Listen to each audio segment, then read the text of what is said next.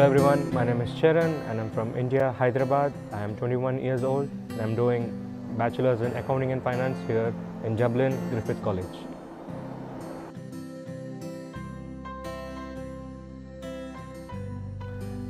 So after I passed out my 12th standard, I had to take one year break in my studies to help my father in our business.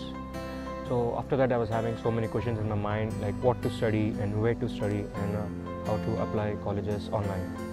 So then I found out Visawebs and I approached them and I just asked them like what would they recommend, what course I can do and so that for my it will be helpful for my settlement overseas and also regarding the visa process.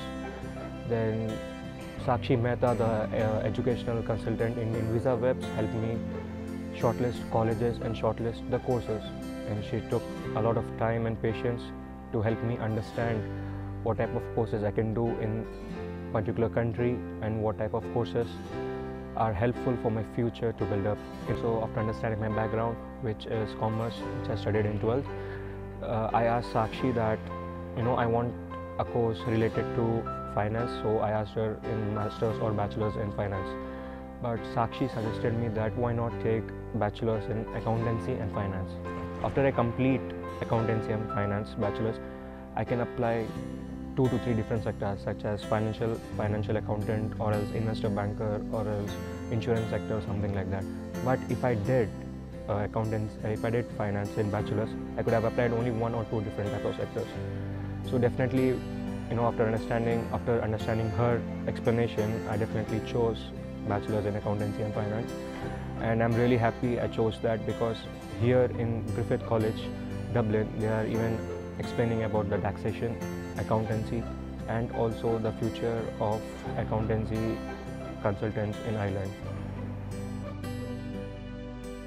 So as soon as I came to Dublin, I thought that you know I should not contact Visawebs or else the job is done. But they also arranged me a free transport from the Dublin airport to my particular accommodation.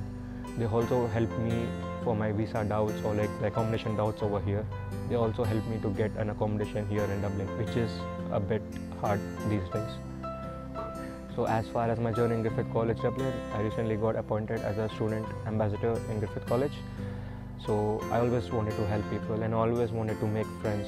So this is a very great way to improve my connections and stay touch with everyone of different nationalities and different types of people. Guys, here are some of the students who are from Spain and they're gonna share their experiences here in Griffith.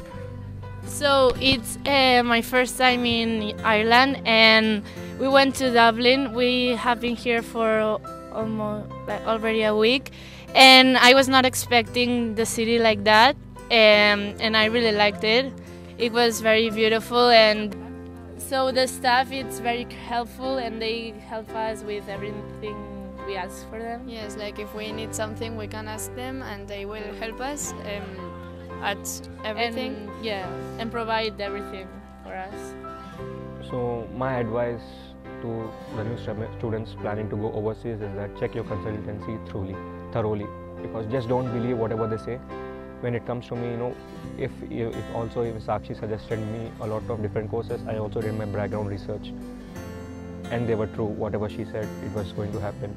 But nowadays, I see a couple of my friends who are getting scammed by different consultancies and you know giving them random colleges or random courses.